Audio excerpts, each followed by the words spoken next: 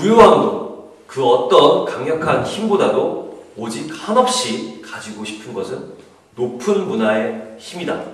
백범 김구 선생님께서 말씀하셨는데요. 어, 과거와 달리 오늘날 대한민국은 어, 문화 선진국으로서 발돋움하고 있습니다. 이런 배경에는 수많은 문화 기획자분들이 어, 자신만의 분야에서 왕성하게 활동하면서 우리의 문화의 그런 풍요로움을 만들고 있고 또 실제로 여러 가지 여건이 잘 갖춰져 있는데요. 그래서 문화뉴스에서는 앞으로 이런 수많은 문화 기획자분들을 일일이 직접 이렇게 찾아가서 만나는 시간이죠. 화이장의 문화 권력이라는 코너를 준비해서 여러분께 찾아가려고 합니다. 그래서 오늘 그 첫 시간 네, MC를 맡아주실 화이장님을 모시고 어, 여러 가지 계획과 앞으로의 포부를 듣는 시간을 갖도록 하겠습니다. 안녕하세요. 아, 예, 안녕하십니까. 네, 화이장님 저 모르시는 분들을 위해서 자기소개를 좀 간단히 부탁드리겠습니다. 네, 여러분 안녕하십니까. 저는 문화기획자 화이장이고요.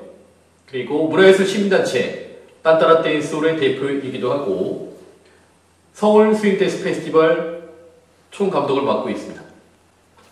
어, 지, 딴따라 댄스홀은 어떤 곳인가요? 어, 딴따라 댄스홀이 일단 규모로 따지면 대한민국 최대 규모의 청년, 청년 시민 댄서들의 단체고요. 그 청년 시민 댄서들이 정기적으로 대규모 랜드마크 광장에서 커플 스윙 댄스를 펼치면서 이 사회를 아름답고 유쾌하게 만드는 단체 놀이터라고 할 수 있겠습니다.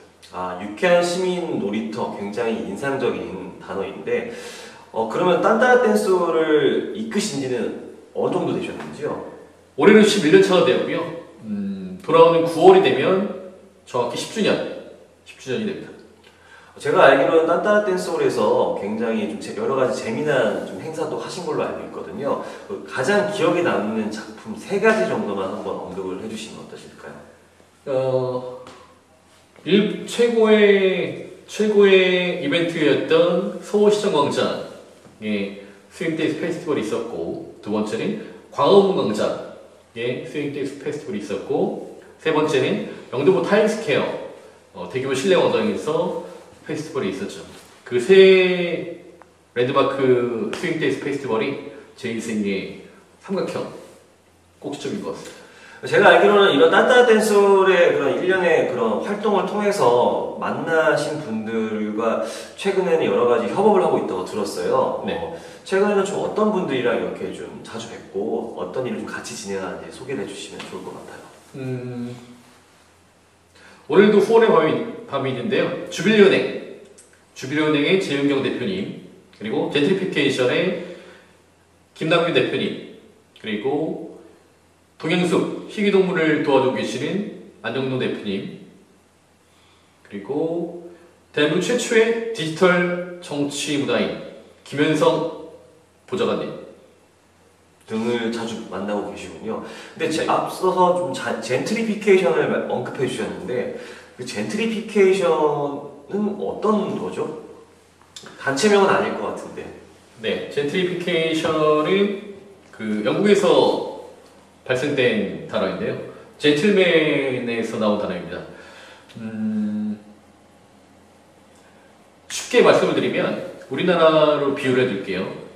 어, 신촌의 신촌의 문화가 홍대를 밀려오게 되고 홍대의 문화가 상수역으로 밀려가게 되고 상수의 문화가 음, 제주도로 밀려가게 되고 아 제주도까지 가나요? 네, 예를 들어서 어, 현재 홍대에서 상수까지 밀려갔다가 제주도로 많이 내려가서 카페를 똑같은 카페가 제주도로 이사를 가고 흔히 지금 현재 가장 이슈가 되는 카페는 1위 카페가 있죠. 1위 카페가 홍대에서 상수로 이사를 갔고 상수에서도 현재 다시 이사를 가게 될 거의 거의 처해 있죠. 뜨거운 카페입니다. 뭐 그런 쉽게 말하면 이렇게 약간 밀, 밀려날 수밖에 없는 상황 이런 상황들을 젠트리피케이션이라고 부르죠.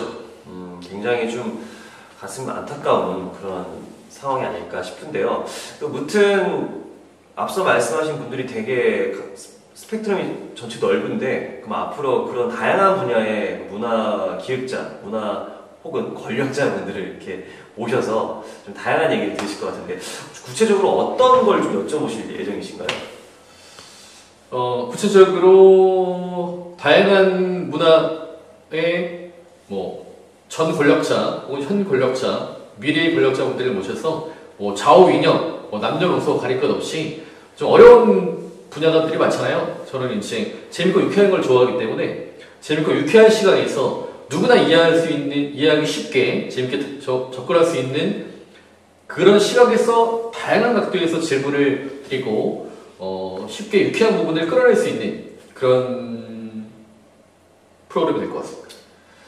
네, 굉장히 무거운 주제를 재미나게 풀어낼 수 있다는 점은 사실 말은 간단하지만 만만치는 않을 것 같은데 여튼 옆에 계신 활자님께서 굉장히 좀 스타일도 그렇고 굉장히 재미나세요. 네, 그렇죠. 예를 들어서 뭐 김미아, 김미아 선생님이 그 경제 방송에서 일반인 시각으로 재밌게 질문을 던지잖아요. 아 그러셨죠, 어, 과거에. 뭐 젠트리피케이션, 무슨 뭐, 뭐 희귀동물, 뭐 디지털 정치, 예를 들어서 그 롤링 주빌리 이런 전문 용어들을 일반인들이 잘 모르니까 음, 저는 일반인 시각에서 유쾌한 시각에서 뭐 누구나 이 방송을 보시면 뭐 쉽게 이해할 수 있고 그냥 단순히 하루하루 살아, 살아가는 것보다 그때 어떤 의미, 어떤 좋은 의미가 들어있고 어떻게 과거, 현재와 미래가 흘러가고 있는지 꼭 보셔야 되는 방송을 만들어 드리겠습니다. 네, 앞으로 활자님의 많은 활약상이 기대가 되는데 어, 마지막으로 한 말씀 더 부탁드리겠습니다. 오늘은 첫 방송이라서 그렇게 분량이 많지가 않습니다.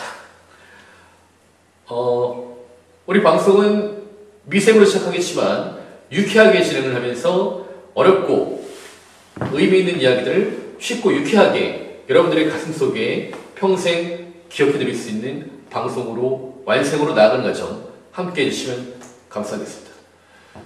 네, 앞으로 MC 활장님의 많은 활약상 부탁드리겠고요. 네, 오늘 이렇게 첫 방송 준비하시느라 수고 많으셨습니다. 앞으로 잘 부탁드립니다. 네, 감사합니다. 감사합니다. 자, 우리 한번 외쳐볼까요? 네. 끝나. 하나, 둘, 셋. 락앤롤.